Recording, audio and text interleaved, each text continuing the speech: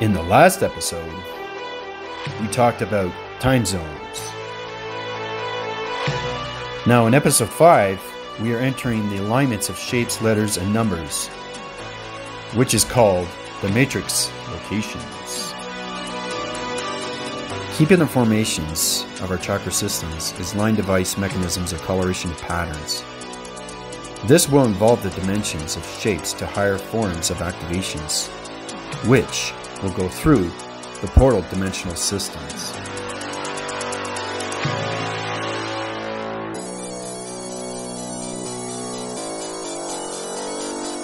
Now, the septical unit system is high volumizing everything through its interforce connection of gravity centers.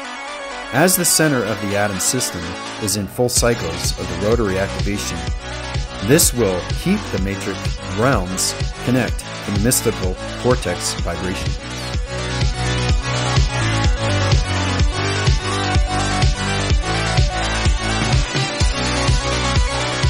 The letter formats is a DNA structure of involvements of the energy grids. This modifies the calculation of particle system it needs to rotate the galaxy path activations.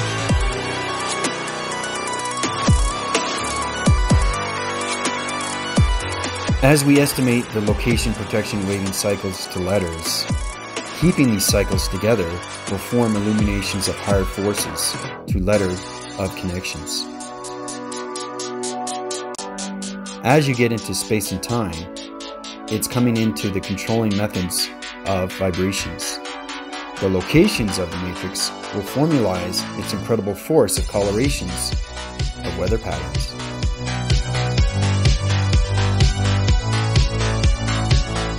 Pixel active mode systems is formed structuring the alignment grids of other locations. The grids, as you see here, will self-absorb to movement channels to higher devices of planet vibration energy systems.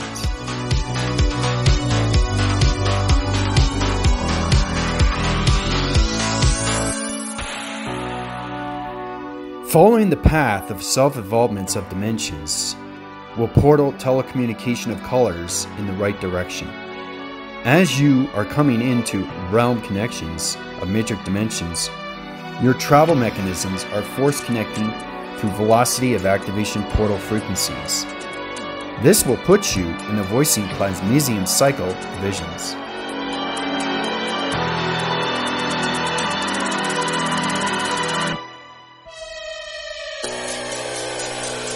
The number fraction of grids is very important to the matrix and simulation vibration pattern systems.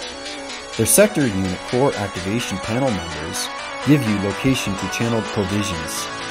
This also self-evolves through solar kinetic polarized hydrogen pro gamma radioactive systems.